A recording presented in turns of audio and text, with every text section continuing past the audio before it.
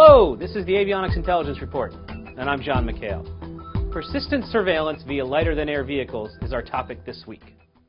According to Major Robert Rugg at the Army Program Manager Robotic and Unmanned Systems Office at the Aberdeen Proving Ground in Maryland, persistent surveillance is around-the-clock, 24-7 monitoring for an extended period of time, monitoring that is in stark contrast to that provided by aircraft, which have surveillance time limitations dictated by fuel consumption and capacity. Anybody who watches the Super Bowl and other major sporting events is familiar with persistent surveillance. It's carried out by the Goodyear blimp and other similar aircraft. The military is using blimps for this concept as well, although they won't be doing close-ups of fumble recoveries and cheerleaders, as tempting as that may be. Using balloons and airships for military applications is nothing new.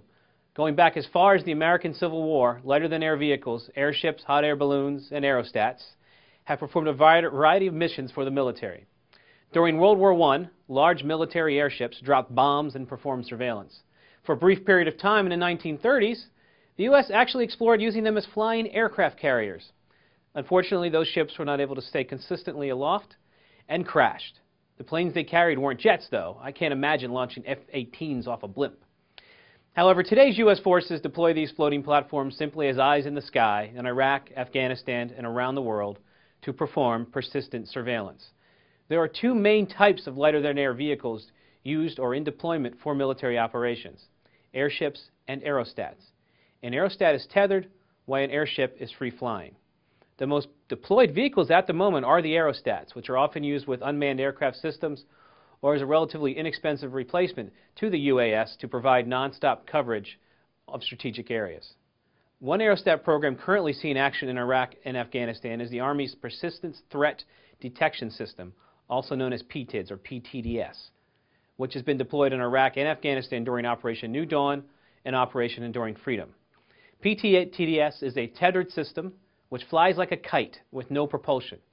The system, first deployed by the Army in 2004, is a 74,000 cubic foot envelope full of helium and aerodynamically shaped and always pointed into the wind with fans and a tail system, and it is always buoyant. The maximum altitude is 5,000 feet above ground level. While not easy at first to steer aerostats, they are more rugged than one might think and can launch into heavy winds, while an unmanned aircraft system can't. Even in 70 knot winds in Afghanistan, aerostats were able to hold their position in the mooring station. They are not as vulnerable to enemy attack as one might assume either, as they fly at the upper limit to be vulnerable to small arms fire. Two airship platforms, those are the free-flying ones, remember, in development are the high-altitude airship being developed by Lockheed Martin Mission Systems and Sensors in Akron, Ohio, and the long-endurance multi-intelligence vehicle, also known as the LEM-V, for medium altitudes, being designed by Northrop Grumman engineers in Melbourne, Florida.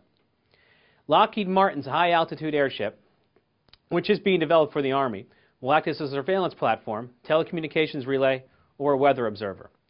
Different electro-optic sensor payloads will be configured for different intelligence, surveillance, and reconnaissance missions.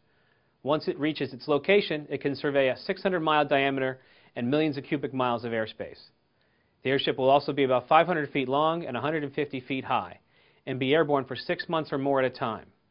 It will be launched to an area of interest and parked there, and have a sensor communication link capability for deployed troops on the field to get where they want to go.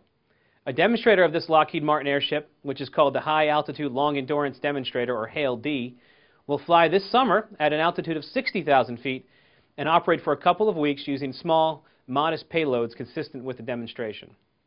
The other airship, Northrop Grumman's LEM-V program, completed its critical design review six months after signing the agreement with the U.S. Army. Under that agreement, the Army will build three airships with 21-day persistence, intelligence, surveillance, and reconnaissance capability. The LEM-V is longer than a football field, taller than a seven-story building, and uses approximately 3,500 gallons of fuel for the air vehicle to remain aloft for a whole three weeks or 21 days, however you want to term it. The airship will also have hull inflation later this summer. Balloons are becoming a big part of the military surveillance arsenal, but for those of us who can't get it in one of these programs or take a ride in a Goodyear blimp during the World Series, there are still services out there that provide airship rides. I found one called Air Airship Ventures while researching this story. Just go to www.airshipventures.com. That's A-I-R-S-H-I-P-V-E-N-T-U-R-E-S.com. And you can spend your next anniversary sipping champagne in a romantic airship cabin. Not exactly persistence ISR over Afghanistan, but hey, looks like fun.